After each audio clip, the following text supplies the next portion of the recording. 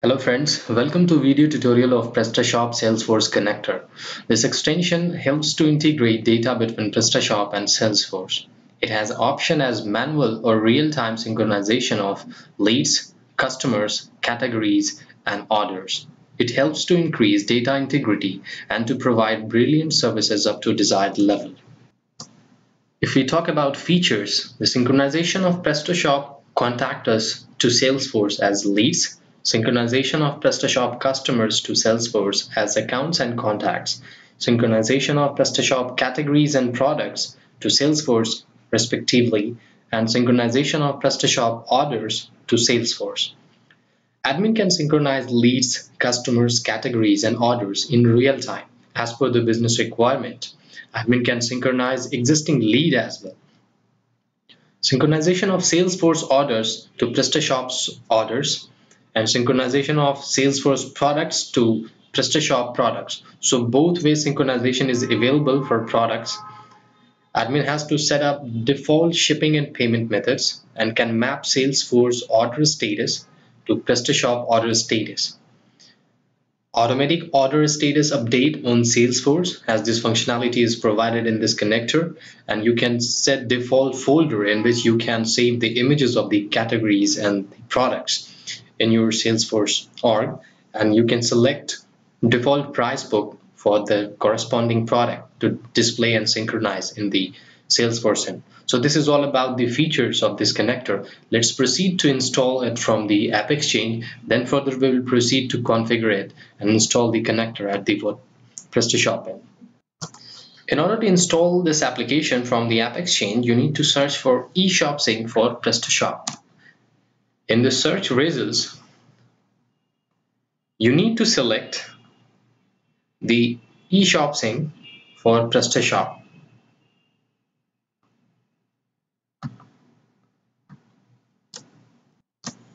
So this is our application. Click on get it now. It will ask for the login as per your Salesforce credentials so you need to log in with that. Once you get logged in with your Salesforce credentials it will ask for the installation in production or in sandbox so proceed accordingly. On the next page it will provide information related to this application such as package name version and all like this. So just go through it and just select the check mark and confirm and install. Further, it will ask to log in with your Salesforce credentials again. Once you get logged in with your Salesforce credentials, further it will ask for the options to select for the users and profiles. So you need to select for install for all users and click on install and uh, it will pop up once it gets completed. So click on done and you will get the setup page like this. So this is the application that we have installed. You can check the all the components from here the custom fields all the things. So now so now the first thing that you need to do is after the installation of eShopSync for PrestaShop, you need to update the field accessibility of all the custom fields that is created by this application. So you need to go through this blog that you will find in the user guide and uh, you need to update all the fields mentioned over here for the specific objects like lead object you need to update the field accessibility so that it will allow the synchronization process to fetch the details and display accordingly. Once you update all the field accessibility of this uh, fields available over here that is need to be updated then you need to generate a WSDL file that is needed once we install the connector at the PrestaShop end. So we need to update a WSDL file. So you need to go through this blog. You will find the steps over here how you can generate the enterprise WSDL that we need to upload. So go through this blog and upload the upload and generate the WSDL file further that is required at the PrestaShop end. So let's proceed to install the connector at PrestaShop and configure it accordingly. So this is our PrestaShop backend. So from here, you need to go to administration. I'm sorry, you need to go to modules and services, then click on modules and services. And uh, you need to click on add a new module and from here you will find an option once you click on that to choose a zip file. So you need to upload that connector zip that you will find once you purchase the connector. So you need to select that and upload this module. You will get a confirmation once it gets installed like this. And you will once you scroll down you will find a application over here. So you need to click on install and click on proceed with installation. And further, you will find a Salesforce connector section over here like this.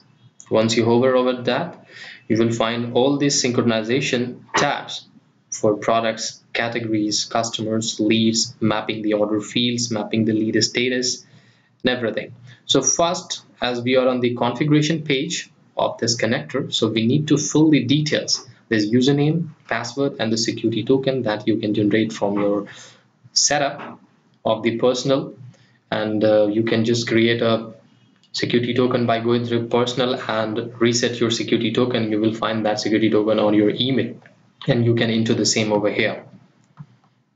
So go ahead and fill all the details so that uh, we will just configure everything once you fill all the details, click on save and uh, further you will get uh, confirmation that it has been successfully updated.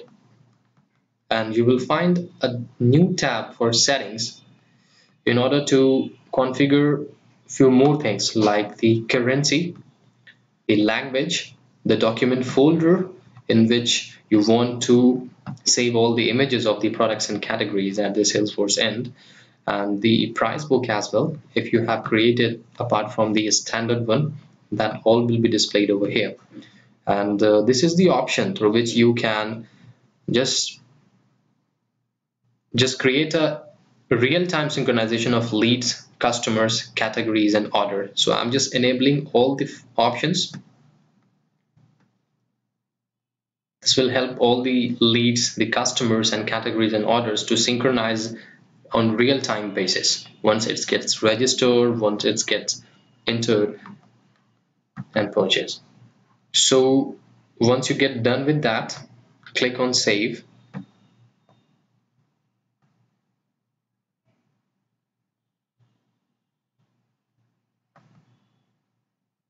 And you will get again the confirmation that settings have been saved. And lastly we need to upload the WSDL file that you have generated. Select the file and click on upload. So once you upload the WSDL file you will get a confirmation that settings have been successfully updated. So now we have configured the settings and uh, there is one more option over here a new section that is previous contact us lead. So it is basically information of all the contact us uh, who just be who will be created as a leads on the salesforce end. So all the details will be displayed over here. So it's a different section for that. So now let's proceed to synchronize the data. First we will proceed to synchronize customers so from here, you need to hover over Salesforce and click on Sync Customers. And you need to click on Sync Customers to Salesforce. Further, you will find this option to select the PrestaShop customers, select all, and click on Start Adding Customers to Salesforce. And it will start the synchronization process. So once it gets completed, you will find all the detailed list of the customers get synchronized with the Salesforce IDs will be generated over here. So let's verify at the Salesforce end as well. So from the app menu, you need to select eShop Sync and you will get the interface for PrestaShop Salesforce. So you need to click on that and you will get the starting page. So this will be the interface. So as we have synchronized customers, so click on customers and you will find that we have three customers that gets synchronized from the PrestaShop. Rest three are the default one of the Salesforce, so you need not to worry about that. So as you can see that three records, three customers has been synchronized successfully from the PrestaShops to Salesforce. So all the details will be displayed accordingly over here. So now let's verify the synchronization of categories. So from the Salesforce section, click on sync categories and click sync categories to Salesforce and you will find the list of categories mentioned over here. So just you need to click on start adding categories to Salesforce. Again, once it gets completed, you will find the detailed list of all the categories with the Salesforce account and categories ID.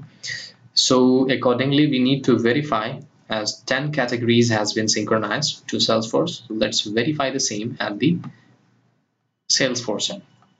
So this is the interface. Click on categories and uh, this is the records per page option. So as we have 10 so we'll select 20 so that we will get a list of all the categories and you can verify the number of records synchronized as 10 with the images and the category name and with the description as well.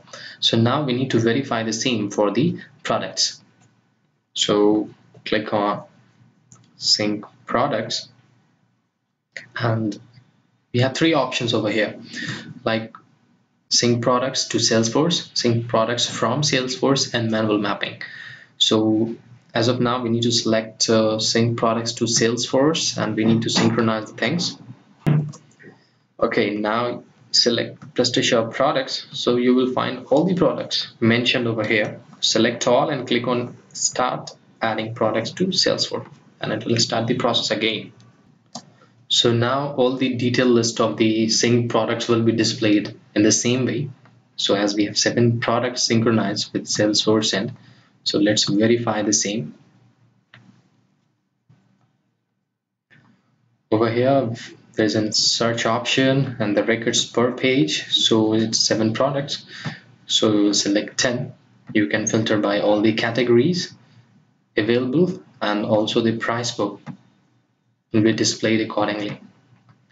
So now as we have seven products so total records seven that has been synchronized the name image categories reference code and all the things will be displayed accordingly. So now we will proceed further to synchronize orders and verify the same. Click on sync orders also there is an option to sync orders to Salesforce and sync orders from Salesforce. So in the same way I'll verify for the sync orders to Salesforce so that you have an idea about the synchronization. Click on sync products sync PrestaShop orders and select all and click on start adding orders to Salesforce so as you can see, the seven orders available at your PrestaShop end has been successfully synchronized with the Salesforce end. So let's verify. Click on orders.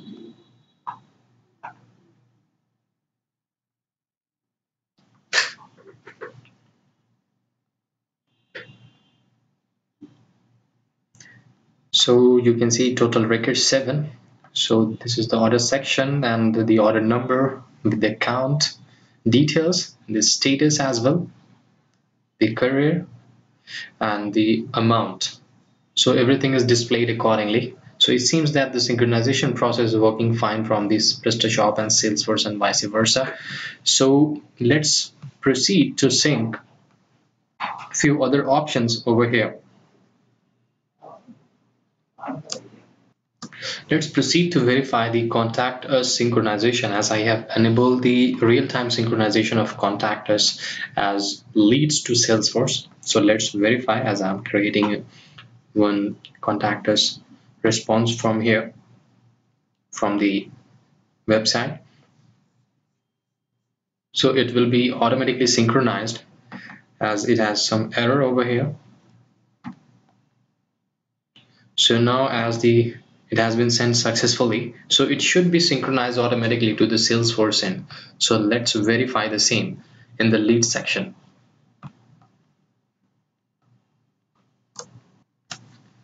So you can find that the contact us response has been generated and synchronized as leads automatically from your website to the Salesforce. So this is the real-time synchronization about the contact us and you can verify the same at the PrestaShop end as well if you click on sync leads. You'll find the details of that contact us response with the synchronization details. So now we have few options as well. For mapping the order details you can select the default shipping method by clicking on edit available over here and also the payment method as well so you can verify it accordingly. You can map the order status of PrestaShop end with this Salesforce. You can add click on add new map and you can select all the possible mapping fields available over here with the Salesforce and PrestaShop. So this is all about the mapping of order details. And uh, also you can map the lead status like as in this PrestaShop contact us status that is open close and all. So you can change click on change the status mapping and uh, select it accordingly. That will be synchronized with the Salesforce lead status accordingly. That is available. So this is all about the functionality and the synchronization part of this PrestaShop Salesforce connector. So we have synchronized the things in the Salesforce classic view as our connector is supportable to the lightning view as well and with upgraded with all the latest features. So let's verify the same in the salesforce lightning view. And one more thing prior just switching to the lightning view you need to register your domain. So this blog link you will find in the user guide section. So you may go through this blog in order to register your domain. If you have not registered then only you can avail this functionality in the Salesforce Lightning View. So now I'm switching to Salesforce Lightning View from the drop down, click on switch Lightning Experience. Let's verify. So this will be the interface in the Salesforce Lightning View. So let's proceed to verify the details in the Lightning View.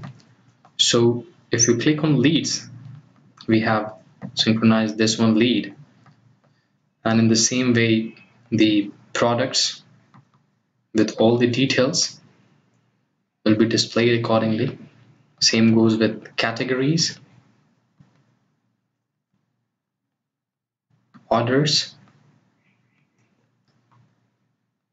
customers and documents. So these are all these different sections available. As we have selected the eShop sync folder to store our images of products and categories so it will be displayed. You need to select the folder and then it will be displayed accordingly. So this is all about the configuration and synchronization process and setup of this eShop sync for PrestaShop in classic and lightning view. So once you go through all this configuration you will easily manage your configuration and synchronization part. And also you may click on user guide. You will get the blog with all the details and the steps in order to configure this application in Classic and Lightning View. And also you will get all the required links mentioned over here for the field accessibility generating WSDL and registering the domain as well. And I hope that you like this video. Thanks a lot for your time have a great day.